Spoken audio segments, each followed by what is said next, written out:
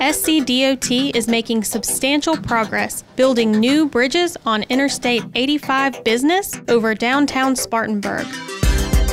Lawson Fork Creek Bridge is completed and was opened November 2022, serving northbound traffic on I 85 business. Over Buffington Road, crews have staged equipment and are pouring concrete to form the bridge, section by section. Over Howard Street, support piles are in place and engineered earthen walls are being built.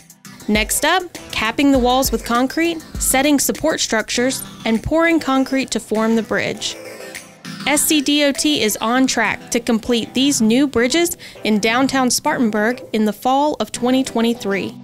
As we drive these projects to completion, progress is our priority.